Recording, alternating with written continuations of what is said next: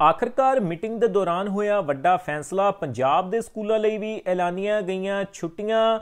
ਮੌਸਮ ਵਿਭਾਗ ਦੇ ਅਲਰਟ ਤੋਂ ਬਾਅਦ ਆਇਆ ਵੱਡਾ ਫੈਸਲਾ। ਕੀ ਹੈ ਪੂਰੀ ਅਪਡੇਟ? ਇਸ ਵੀਡੀਓ ਦੇ ਵਿੱਚ ਅਸੀਂ ਇਹੀ ਜਾਣਨ ਦੀ ਕੋਸ਼ਿਸ਼ ਕਰਾਂਗੇ। ਅਗਰ ਤੁਸੀਂ ਸਾਡੇ ਚੈਨਲ ਜੀਡੀ ਟੈਕੀ ਤੇ ਨਵੇਂ ਹੋ, ਤਾਂ ਆਪਣੇ ਚੈਨਲ ਜੀਡੀ ਟੈਕੀ ਨੂੰ ਵੀ ਸਬਸਕ੍ਰਾਈਬ ਕਰਨਾ ਨਾ ਭੁੱਲਿਓ। ਤੁਹਾਨੂੰ ਦੱਸ ਦਈਏ, ਸੂਤਰਾਂ ਦੇ ਹਵਾਲੇ ਤੋਂ ਵੱਡੀ ਖਬਰ ਆ ਰਹੀ ਹੈ, ਪੰਜਾਬ ਦੇ ਸਕੂਲਾਂ ਦੇ ਵਿੱਚ ਛੁੱਟੀਆਂ ਨੂੰ ਲੈ ਕੇ ਅਤੇ ਕਿਹਾ ਜਾ ਰਿਹਾ ਹੈ ਕਿ ਜਿਹੜੇ ਸਕੂਲ ਨੇ 29 ਜਨਵਰੀ ਨੂੰ ਹੀ ਖੁੱਲਣਗੇ।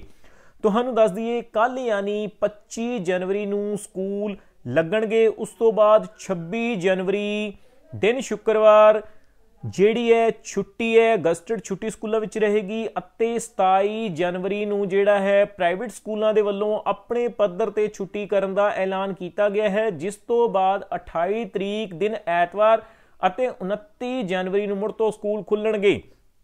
ਪ੍ਰਾਈਵੇਟ ਸਕੂਲਾਂ ਵੱਲੋਂ ਆਪਣੇ ਪੱਧਰ ਤੇ ਫੈਸਲਾ ਲਿਆ ਗਿਆ ਹੈ। ਸੂਤਰਾਂ ਦੇ ਹਵਾਲੇ ਤੋਂ ਵੱਡੀ ਖਬਰ ਆ ਰਹੀ ਹੈ, ਕਿਉਂਕਿ ਮਾਪਿਆਂ ਵੱਲੋਂ ਇਤਰਾਜ਼ ਜਤਾਇਆ ਜਾ ਰਿਹਾ ਸੀ। ਉਮੀਦ ਸੀ ਕਿ ਸਿੱਖਿਆ ਵਿਭਾਗ ਗਵਾਂਢੀ ਸੂਬਿਆਂ ਤੋਂ ਸਬਕ ਲੈਂਦੇ ਹੋਏ ਪੰਜਵੀਂ ਤੱਕ ਜਿਹੜੇ ਵਿਦਿਆਰਥੀ ਨੇ ਉਹਨਾਂ ਨੂੰ ਛੁੱਟੀਆਂ ਐਲਾਨੇਗਾ।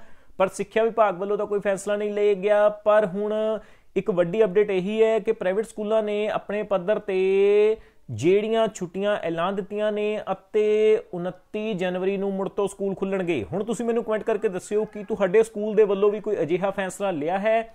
ਕੀ ਤੁਹਾਨੂੰ ਵੀ ਸਕੂਲ ਦੇ ਵੱਲੋਂ ਇਸ ਤਰ੍ਹਾਂ ਦਾ ਕੋਈ ਨੋਟੀਫਿਕੇਸ਼ਨ ਜਾਰੀ ਹੋਇਆ ਹੈ? ਜੇਕਰ ਨਹੀਂ ਹੋਇਆ ਤਾਂ ਜਾਰੀ ਹੋਵੇਗਾ, ਤਾਂ ਉਸ ਵੇਲੇ ਮੈਨੂੰ ਕਮੈਂਟ ਕਰਕੇ ਜਰੂਰ ਦੱਸਣਾ। ਸੋ ਇਹ ਦਿਨ ਦੀ ਵੱਡੀ ਅਪਡੇਟ ਨਿਕਲ ਕੇ ਆ ਰਹੀ ਸੀ। ਸੋਚਿਆ ਇਹ ਖਬਰ ਤੁਹਾਡੇ ਨਾਲ ਸਾਂਝੀ ਕੀਤੀ ਜਾਵੇ, ਇਹੋ ਜਿਹੀਆਂ ਖਬਰਾਂ ਵੇਖਣ ਦੇ ਲਈ ਆਪਣੇ ਚੈਨਲ ਜੀਡੀ ਟੈਕੀ ਨੂੰ ਸਬਸਕ੍ਰਾਈਬ ਕਰਨਾ ਨਾ ਭੁੱਲਿਓ। ਸੋ ਇਸ ਵੀਡੀਓ ਵਿੱਚ ਇੰਨਾ ਹੀ। ਧੰਨਵਾਦ।